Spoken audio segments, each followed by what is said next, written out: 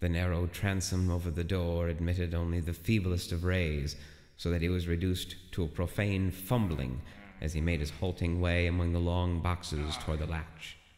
In this funereal twilight, he rattled the rusty handles, pushed the iron panels, wondered why the massive portal had grown so suddenly stubborn, and began shouting loudly, as if his horse outside could do more than neigh an unsympathetic reply.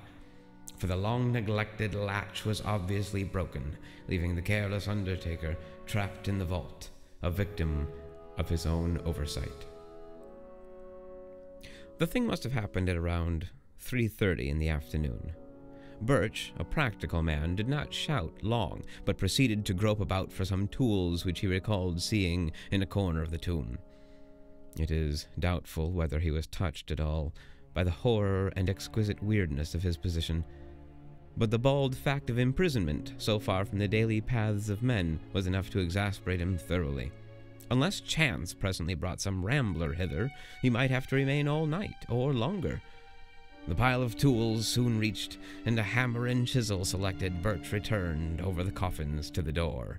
The air had begun to be exceedingly unwholesome, but to this detail he paid no attention as he toiled, half by feeling, at the heavy and corroded metal of the latch.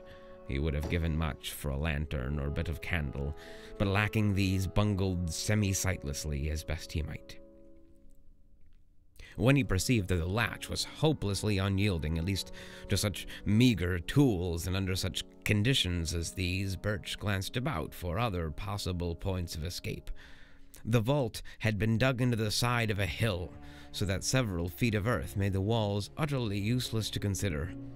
Over the door, however, the high, slit like transom in the brick facade gave promise of possible enlargement to a diligent worker.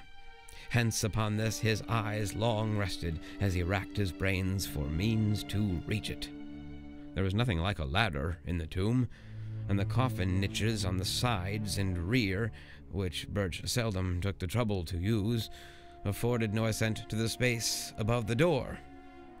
Only the coffins themselves remained as potential stepping stones, and as he considered these, he speculated on the best mode of piling them up like blocks.